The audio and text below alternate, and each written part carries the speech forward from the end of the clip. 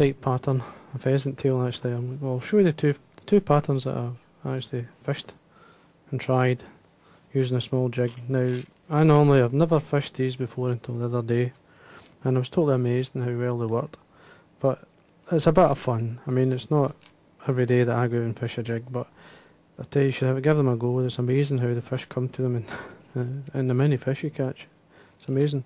But anyway, this is the, the companies that I got the jig head from, the worm, and uh, basically you can buy it from this company here. It's called www.tungstenhead.tungstenbeads.net.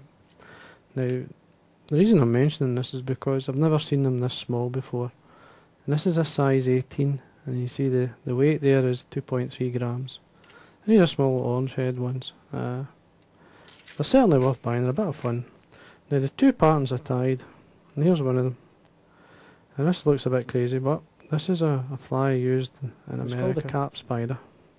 And this is an olive one, as you can see it's very leggy and a bit crazy looking, but it's a very effective dressing pattern that works extremely well and very simple. That's the other thing. Very simple dressing that works well. Now, to get closer to the patterns that I fish personally, I put a, there's the pheasant tail.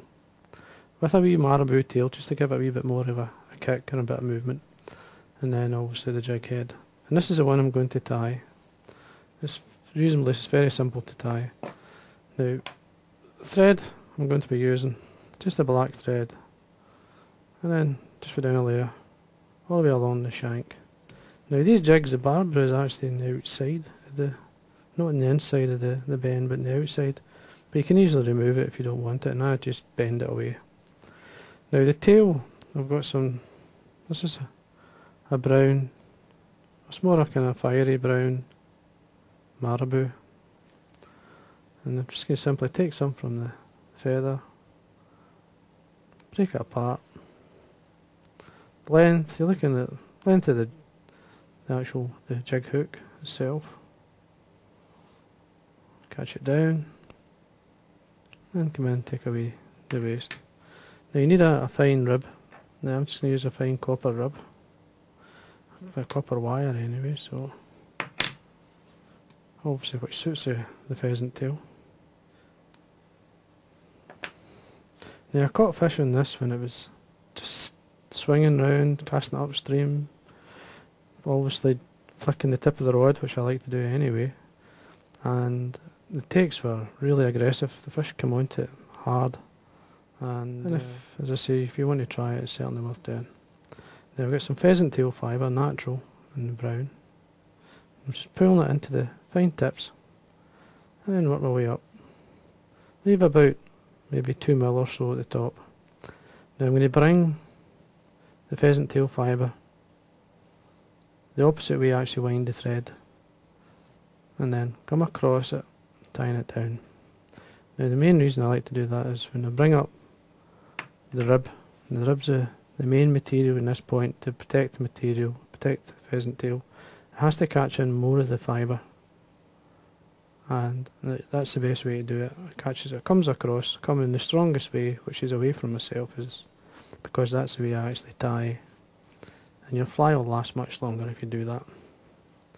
So cross your thread, bend and break away the wire, there you go. Now the legs I'm using, these are centipede legs and this is a small. Now I'm just going to put three either side.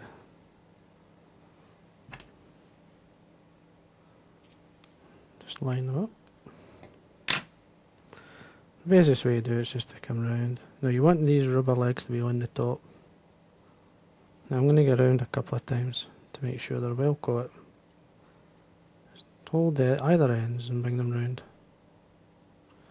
Now if you if you stretch these legs, they slightly they will lose this, the, the small black mark, but don't worry about it because if they keep working. Now I'm just going to trim this away, just a manageable length that I can come in and move them around. Now the easiest way is to hold one side and then come round, catch it. So basically you want three either side and then come to the other side. Again, once you get started it's okay because they bounce all over the place. Now when you cut these, the length is up to yourself. I mean, have them all, all lengths if you want. Or have them all the same as what I did. And there we go. Now, I'm, what I'm going to do is slightly tidy up. Now, you, there's lots of dubbins on the market, and you've seen me recently using a lot of the... This is called the Diamond Brite. It's by Spirit River. And this is a, a chocolate brown. There you go, Diamond Brite chocolate brown. Now, this is a, an excellent colour. It's just... It works real well. Uh, you only need a wee drop. Just slightly double into your thread. And what I'm going to do is figure eight through the legs. Just taking my time. Just watch what you're doing. The more movement you leave in your legs, the better. And these, if, if you come round, like I've caught this one here, just pull it out and bring it up into the back. And then you can, I'm going to tighten up. For some reason these legs seem to want to catch everything you put on, so you just have to be patient even with myself. There you go. Take your time round and tighten up with the dubbin again.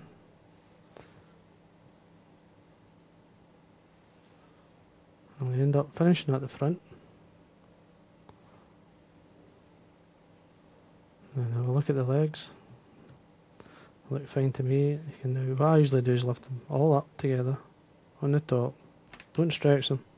And then I get, as I said, cut them whatever length. I mean, you could keep them the length they are if you want. I'm just going to shorten them slightly to give it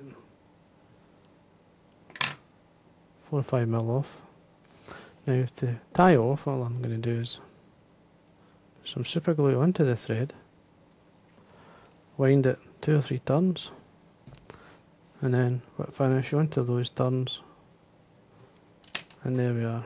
And you'll find that strong when ready. Now there you are, that's your pheasant tail small jig. As I say, a great fun to, to fish. I mean once that actually sits upside, it sits like this in the water. So, and then you can move it. I actually put it in the dropper at first and put a normal fly in the point and they came after this. So I put two on, put this other, they put the spider on, the cap spider on and was catching fish out with that and I was catching grayling as well. And the grayling tamed this one more. The brownies had a go at this. Uh, didn't get the monster grey uh, brown trout, but I, the brown trout came to that for a, and it was in a deep hole and that, that I would say the cap spider caught more than this one. But anyway, if you're going to give them a go, do it. It's good fun. That's what fly tying is all about. Anyway, you can bring out some of the dubbin as well, just by using your velcro. And here you go. And that's your small jighead pheasant tail.